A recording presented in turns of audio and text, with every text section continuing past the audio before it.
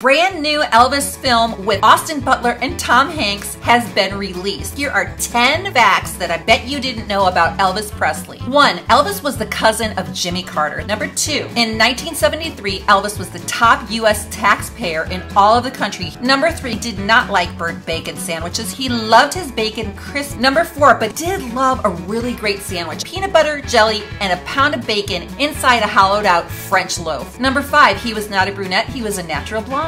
Number six, he was a black belt in karate. Number seven, he was not exactly known for his songwriting skills, only known to contribute a lyric. Number eight, in the eighth grade, he actually got a C minus in music because his music teacher said that he did not have an aptitude for singing. Number nine, Elvis was a football fanatic. He loved football. On Sundays, he would have three or four televisions going at one time. Number 10, he had a fling with Marilyn Monroe one night. And later he said, eh, she's a great gal, but she's a little short for me.